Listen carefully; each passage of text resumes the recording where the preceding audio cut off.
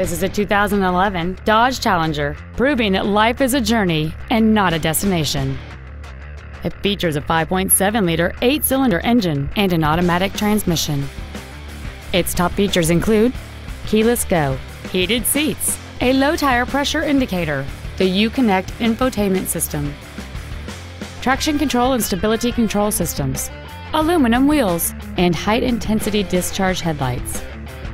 The following features are also included air conditioning with automatic climate control, cruise control, an auto dimming rear view mirror, a leather wrapped shift knob, front and rear floor mats, side curtain airbags, a rear window defroster, an anti lock braking system, solar control glass, and this vehicle has fewer than 34,000 miles on the odometer.